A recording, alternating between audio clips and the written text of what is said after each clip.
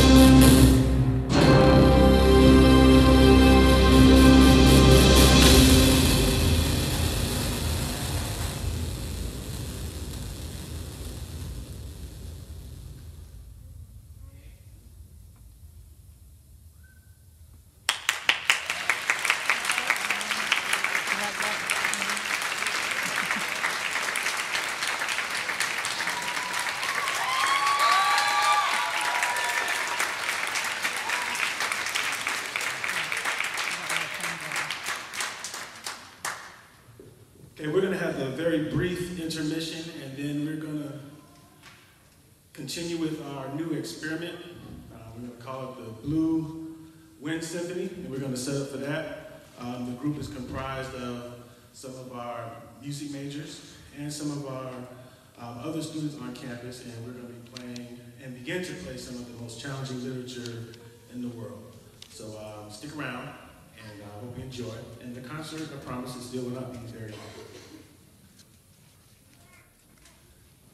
We'll be back shortly, and we'll wait for the Wind Symphony to set up.